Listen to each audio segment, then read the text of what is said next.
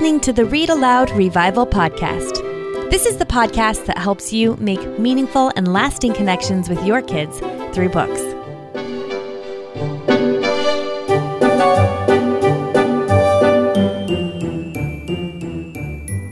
Hey, hey, hey, Sarah Mackenzie here. You've got episode 108, and I have a great episode for you today. Really excited to share a new book list we put together for you. We have heard from a lot of families, Read Aloud Revival families, that they're studying ancient history with their kids this year. So we put together a little book list. Now, I don't know about you, but really long, comprehensive book lists, they, they tend to make me see double. I get really overwhelmed. I think, okay, but I don't have time to read all of these. So somebody tell me which ones are the best ones. So that's what this list is. It's short.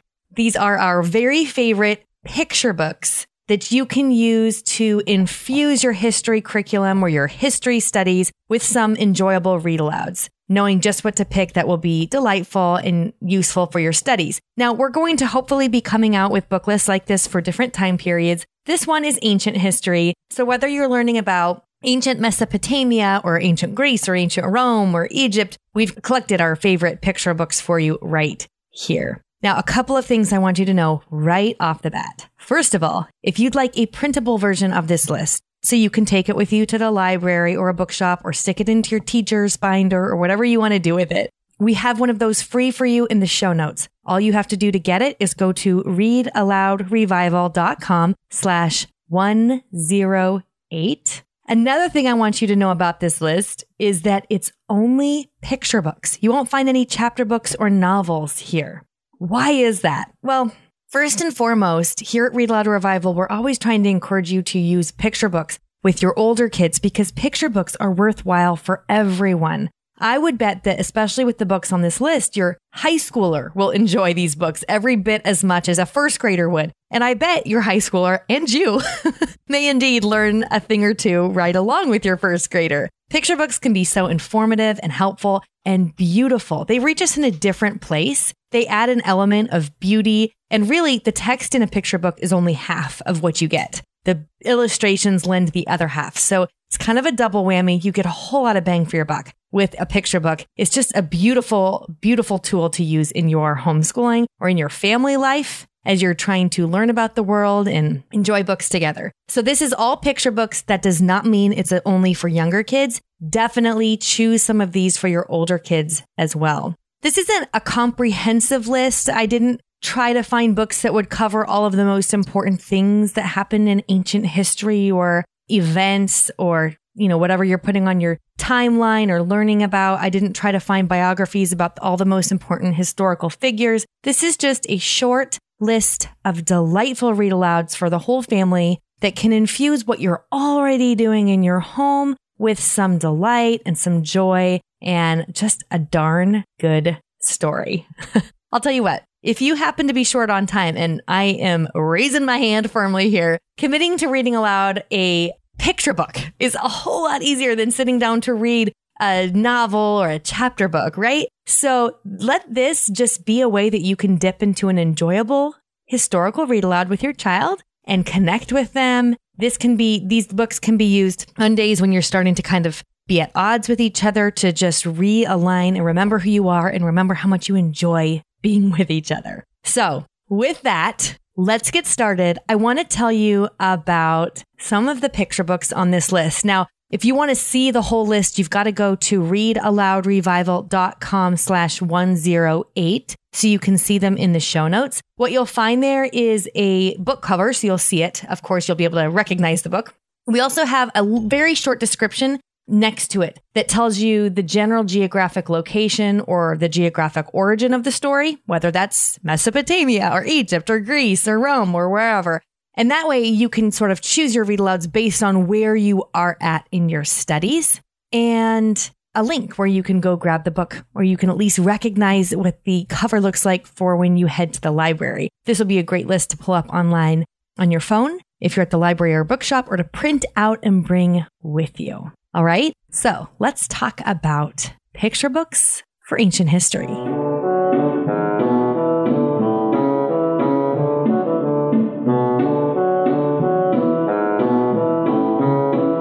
Right, I want to start with two books by Demi. Now, you probably will recognize these books because Demi has a very classic and distinctive illustration style. Not very many others or anyone else illustrates the way Demi does. And so usually I can recognize one of her books by her illustrations before anything else. The two I want to mention today are both fables. So they're not historical events, but they're historical fables from different parts of the world you may be studying during your ancient history studies. One is called The Empty Pot.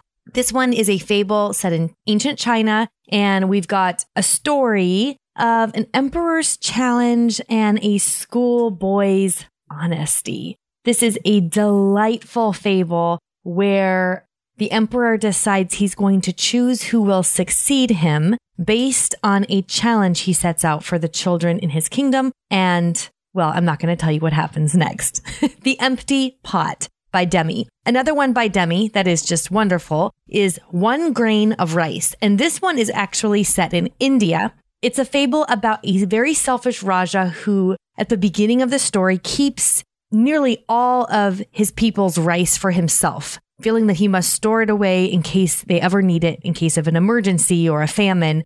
And then basically what happens, of course, is there does come a famine and the Raja is still selfish. And so he's feasting himself while his people are starving. Well, there's a clever girl in this story based in India who outwits the emperor and teaches him a better way. It's a very lovely story. And I think your kids would enjoy it. And of course, the illustrations in both the empty pot and one grain of rice are just gorgeous. So those stories can pair with your studies of China or India. Let's talk Greece. There are several books on this book list that will pertain to your ancient Greece studies. The first couple I want to mention are actually math adventures written by Julie Ellis. One's called What's Your Angle, Pythagoras, and the other is Pythagoras and the Ratios. They're both math adventures, which means your kids are actually learning math well, through the story. They're clever, they're sweet, they're really well illustrated. I particularly enjoy the illustrations in these stories. Pythagoras is the main character in these stories, and of course, he's an ancient Greek philosopher. And these stories tell about if, you know,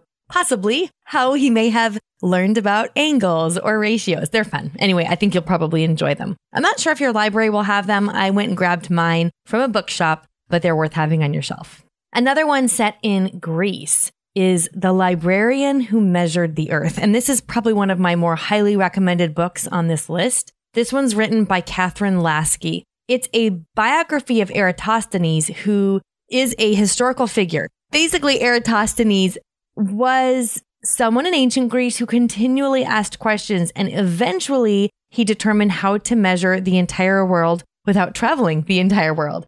The pictures in this one are lovely. There is so much information. Your kids will learn so much about ancient Greece in this story. And I really think it's probably one of the best ones on this whole list. Let's stay with Greece for a minute because I have another recommendation for you. And this one is D'Aulaire's Book of Greek Myths.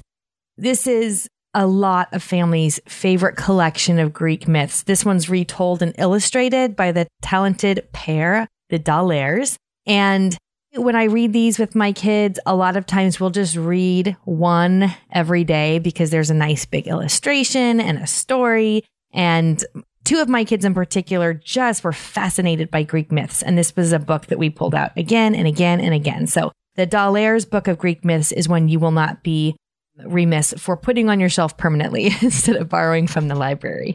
If we're going to stay in Greece for one more book recommendation, I want to recommend Aesop's Fables illustrated by Jerry Pinkney, who is, I think, one of the greatest current illustrators of our time. He's, he's won a Caldecott. He's just absolutely brilliant illustrator. Aesop's fables, of course, you'll be familiar with many of them, like the fox and the crow, the owl and the grasshopper, the fox and the grapes, Belling the cat, the town mouse and the country mouse. There are so many that will be familiar to you. And I like this particular collection illustrated by Jerry Pinkney. And it's a lovely addition to your collection of read alouds as you're studying ancient Greece because Aesop is one of the most famous people from that time as he was the author of these fables that have stuck with us until now. So these are great fables to add to your studies of ancient history. Now let's move over to some recommendations for books set in Egypt, which is another place where I have several book recommendations for you. The first one is The Egyptian Cinderella. This is by Shirley Climo, who is well known for a lot of her retellings of folklore. And this is an Egyptian spin on the classic Cinderella tale. You may know that many different civilizations and cultures have their own spin on Cinderella. They have similar stories that are Cinderella. This one was initially recorded in the first century by a Roman historian, and it was retold in picture book form by Shirley Climo. I remember being told this one as a child. I remember the illustrations by Ruth Heller. And I read this one with my kids. So you may enjoy reading this one aloud with your own kids while you're studying ancient Egypt. And this is one that's definitely going to be able to be found at your library, very, very likely, but it's also worth having on your shelf permanently if you're looking for a few to purchase. Another one set in Egypt is called Of Numbers and Stars, the story of Hypatia. And this one presents the life of a girl who lived in 5th century Alexandria and she became, in a time when it was very uncommon, right? A respected scholar in mathematics and philosophy. And we have hardly heard anything about her because women were not supposed to do scholarship in mathematics and philosophy back then. So this story is inspiring and it's got really, really lovely illustrations. I bet that the cover alone will capture you. So it's called Of Numbers and Stars. The author of this one is D. Anne love. D as in the initial, Anne, and then love. Another really great one for your ancient Egypt studies is Pyramid, written and illustrated by David Macaulay, who's been here at the Read Aloud Revival before. He just, his illustrations are so compelling. They're so detailed. And this is a book that will very likely capture any of your kids who love attention to detail and love to know how things were made. I highly, highly recommend this one. You could spend a good long time reading and learning from the books by David Macaulay. Pyramid is a fantastic place to go for that. And then one more for your studies of ancient Egypt is Mummies Made in Egypt by Aliki. Aliki is another one of those illustrators we kind of recognize by her style. They're just very distinct. And oh, oh, goodness, Aliki has done a lot of really wonderful books. This one is a nonfiction look at the process of mummification. I'm not going to lie, it gets a little gruesome. So just maybe preview it. it's a really informative, wonderful book, and your kids will likely be just fine with it if they're already learning about the process of mummification, which I mean, it's a gruesome process, but don't say I didn't warn you. You might want to peek through it if you've got particularly sensitive kiddos.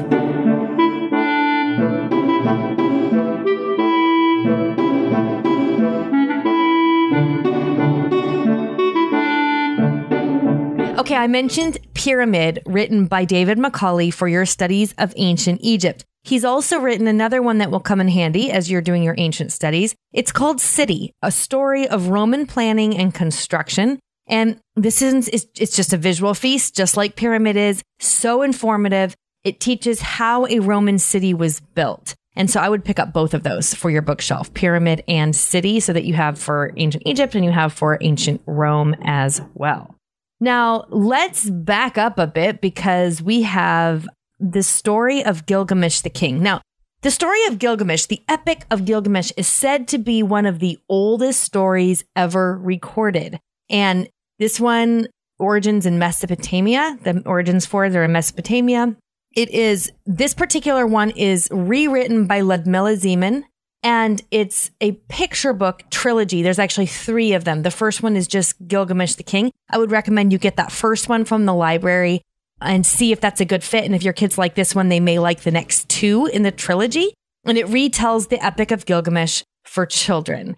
The Epic of Gilgamesh is not for the faint of heart, so you may want to preview it first. And I know lots and lots of kids who've pored over these particular versions by Ludmila Zeman. They're just really well done. So go ahead and get your hands on that and check it out. And let me share one last collection of three books that I think are really, really helpful during ancient studies. And those are the Bible stories illustrated by Tomie dePaola, who is my very, very, very favorite children's book illustrator. I think you guys probably know that by now. If you've been listening to the Read Aloud Revival podcast, you know he's a favorite of mine. There are three that I would get on your shelf for your studies of ancient history. The first is his book of Bible stories. It's just a collection of Bible stories that he illustrated. There's a newer 25th anniversary version It's the NIV version of the Bible illustrated with Tomie dePaola's illustrations. And then two others that I would make sure I had on my shelf are The Miracles of Jesus and Mary, the Mother of Jesus, which is a picture book biography about the mother of our Lord, illustrated by Tommy dePaola. So again, this isn't a long, long list. And you know why? It's because when I go to the internet to start digging around and see if I can find books based on a certain historical time period, less is more as long as those few choices are really very carefully chosen. And that's what we did here. We tried to choose what we think will be have a really wide appeal in your home, a good chance for delight and connection, offer a good opportunity for conversations in your family, and appeal to a broad range of ages. I think all of the books on this list will do all of those things. So it's a short, mighty list for your ancient history studies. Remember, you can get a printable version of this list and you can get easy links and book covers and all that good stuff so you know exactly what you know what you're looking for at readaloudrevival.com slash 108.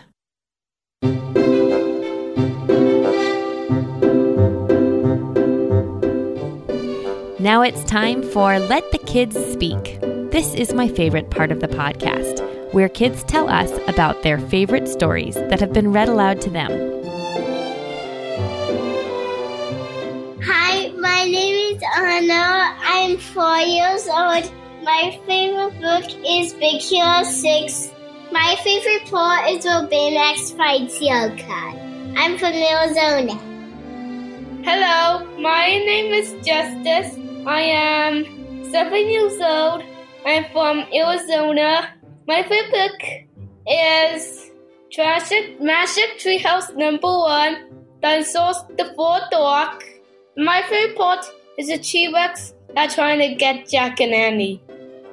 Hi, my name is Brielle, and I live in Hager City, Wisconsin, and I am six years old, and why I like Caddie is because they live kind of close where we live, and the Indian John gave Caddie a dog and a scout belt, and then Caddie hanged up the scout belt in the barn so they couldn't see.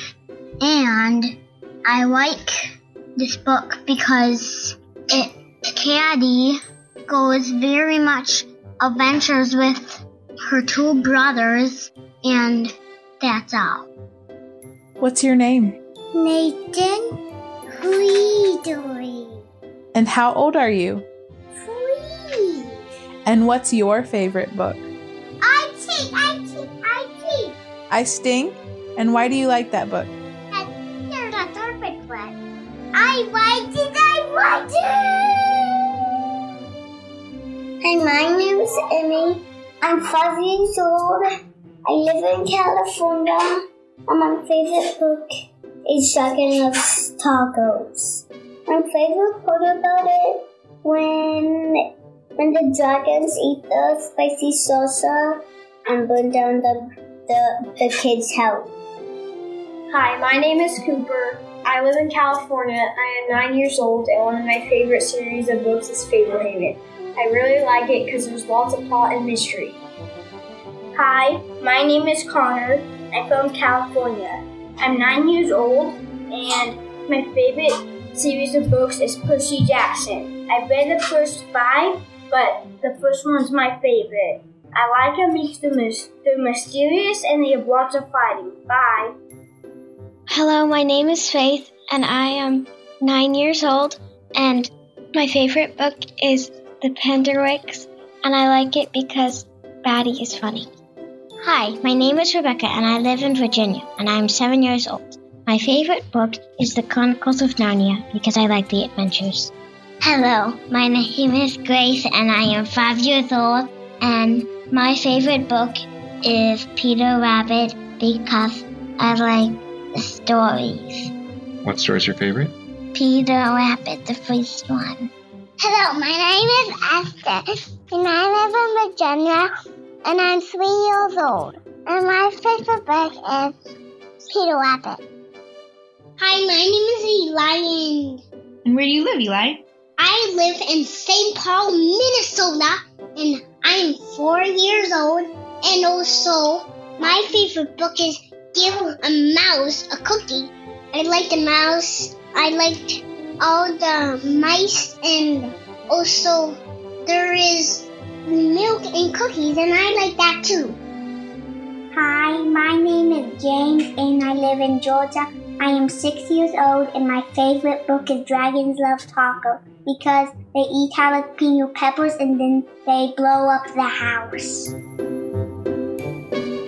Kids, thank you, thank you for those recommendations. I always love hearing. I it's one of my favorite things I do at Read Aloud Revival is listen to your messages and get them ready for the podcast because I just love to hear what you're loving. If you haven't left a message and you would like to, we air every single message in the order it's received. You can do it at readaloudrevival.com. Scroll to the bottom of the page there and you'll see how you can leave a message and we'll air it on the podcast. It's pretty fun. Don't forget you can grab a printout of this list of books we recommended today at readaloudrevival.com slash 108. We also have some other carefully curated book lists about a few different categories, several different categories that you can get for free at rarbooklist.com or simply by texting the word books to the number 345345. So if you want to find out what we're recommending at Read Aloud Revival, you want to text the word books to 345 345 or head to rarbooklist.com. Thanks so much for listening. We'll be back next week. But in the meantime, go make meaningful and lasting connections with your kids through books.